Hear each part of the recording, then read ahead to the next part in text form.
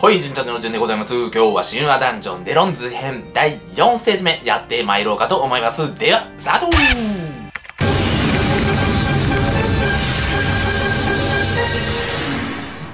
はい、ということで、神話ダンジョン第4ステージ目やって参りましょうか。私が第4ステージで使った編成はこちらになります。デデンドバートリー、エシラ、アタランテ、雪、デロンズワンバックでいきたいと思います。えーっとですね、今回のクリア条件、レベル40以上の雪を入れなくてはいけない。そして400秒以内にクリア。えー、時間で直したら6分、6分と40秒、40秒でしょうか ?6 分20秒か？えー、ぐらいでクリアしないと。まあ6分以内でクリアすれば大丈夫ということになっておりますね。神話覚醒デロンズ、すでにもう段階上まで行っちゃったので、このクリア条件のところに黄色く点灯はしていないので、失礼いたします。えー、今回ですが、まあ、少し、エシラの方の、えー、性能もちょっと見て説明していきましょうか。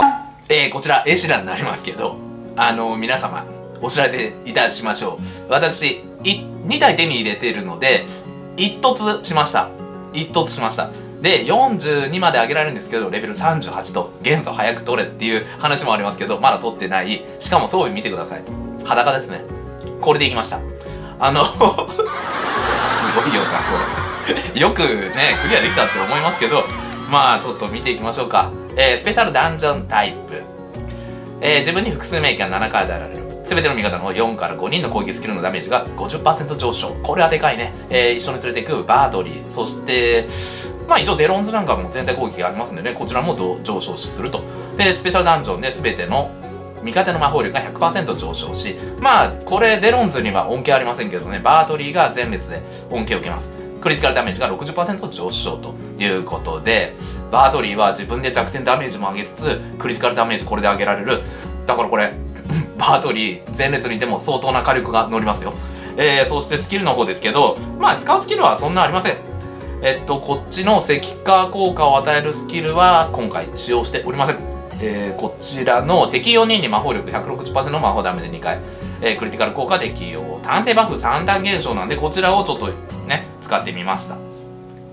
覚醒の方は全くもって使うことはありませんね。えー、とりあえずエシラ必要枠としてはもうパッシブですね。うん。クリティカルダメージ60%上昇、魔法力100%上昇というものがキーになっておりますので、えー、こちらを採用させていただきました。あとは単性バフ。まあ来た時に使えるということで、まあ、ぶっちゃけ言いましょう。あのー、一枠なくてもクリアできるってことですよ。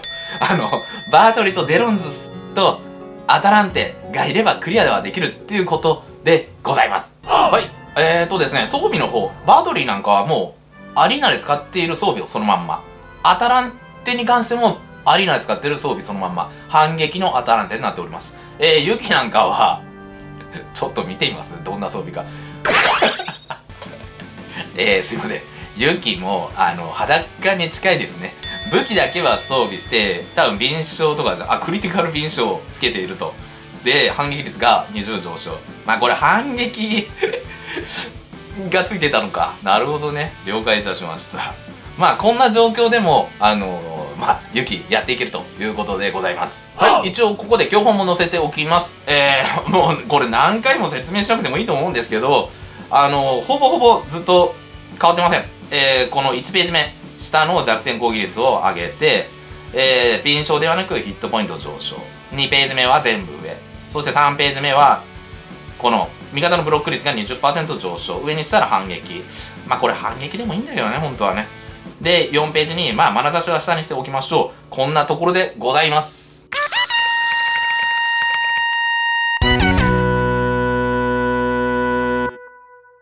はい、では早速やってまいりましょうか。まずね、初手で、バドリーの下使いましょう。シルビアが前列に2人いますが、こちらがですね、魔法ダメージでしか、どうやらね、ダメージ入りません。だからここで初手でデロンズの全体攻撃とか使っても、えー、シルビア倒せないのでご注意してください。えーと、一応シールド貼ってきたので、使いましょう。エシラ使ってあげましょう。かわいいね、演出。かわいいね。よし、縦剥がれたので、デロンズさん使ってまいりましょうか。おうおう、メテオ来たね。ってことは、セバスチャンのスキルによって縦張りをしているっていうことですね。うん。単体使ってどうだ？お。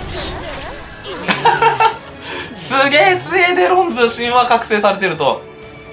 2, 2段階解放しただけでも1人の単体攻撃によって2人も倒れちゃうもんね。はあ強烈だなこれで第2ステージ説明していかなくてはいけません。えー、どうやらねこれ見た目では分かりませんけどあのバフ減をしていかなきゃいけないようなシールド貼ってあります。シールド。なのでバートリーの下とアタランテの下でバフを解除していきましょう。うん。まあアタランテとバートリーで8ターン分減らせばもう十分減らせるでしょう。そしたらとどめに入りましょうか。攻撃していきましょう。えー、デロンズの上打っていきましょうか。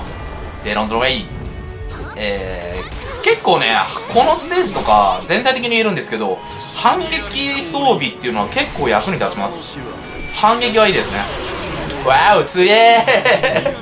強え。やっぱワンバックにしたらとんでもないなこの火力は。一気に倒す。もうあとは1人ね倒しに行きましょう。えー、ちなみにですけどエシラさんあのー、待ってもってね。複数名義のおかげで。全然倒れないね。いやいいね。裸だけど強い。まあせっかくでエシラ来てるから使ってあげなきゃねもったいないからね。残りはデロンだけですけどなかなかしぶといですね。うん。これでおしまいかな？いやかっこいいなかっこいいなデロンズ。本当にかっこいい。いいね。よし。そしたらまあ多分覚醒スキルでこれで終わってくれるかな。どうでしょうね。うん。はいということで倒せました。2分半ぐらいでしょうかね。倒せました。ユキも裸の状態。エシラも裸の状態。もうここはちょっと最後あの遅くなりましたけど反射免疫必ず持って入ってくださいね。はいということで4ステージ目クリアしてみましたけど、まあ、アタランテの反射免疫持ったキャラクターを絶対入れてください。反射がかなり厳しいんでね。あのー、ぜひもんです。ここで入れるゼヒモンキャラはデロンズ、ユキ、えー、アタランテでしょうね。うん、あと、バートリー枠と、このエシラの枠っていうのは他のキャラクターでもいけるかと思いますけど、やっぱりね、所定とか考えますと、魔法の火力持ったキャラクターがね、一番ね、バ最抜擢だと思うんですよね。うん、バートリー以外だと、現状誰とかがいいのかなえー、っと、もちろんその枠にエシラそのまま使ってかなりレベルとか突数もあればエシラでも OK なのかもしれません。ただやっぱ全体攻撃欲しいねここは。うん。魔法力の全体攻撃。えっ、ー、とバネッサなんかでももし代用としていけるんだったらこちらですね。こちらのスキルでちょっと打っていけるっていうのもいいかもしれない。あとはそうですね。リンとかでもいいかもしれないね。リンでもいいかもしれない。えー、適用人でしょ。これもしかしたら男性バフだけじゃなくて、2ステージ目とか、覚醒スキルのポジティブバフ解除とかも、これ使ったら全部一気にいけるのかもしれないね。ちょっと試していないんですけど、もしかしたらリンでもいけるのかもしれませんね。はい、ということで、第4ステージ目、えー、参考になればいいかと思っております。では次回の動画は第5ステージ目。これはきつかった。えー、もしよかったらグッジョブ、チャンネル登録してみてください。では皆さん、バイバイ。ありがとうございました。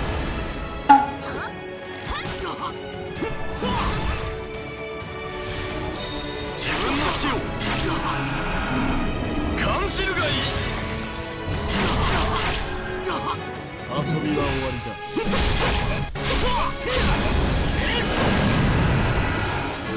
集まりなさい。深淵の境界を破る。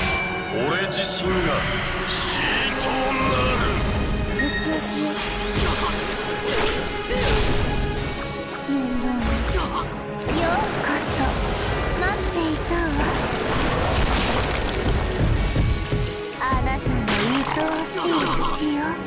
でも。この俺が貴様を死へいざなこの俺が貴様を死へいざなってやろう。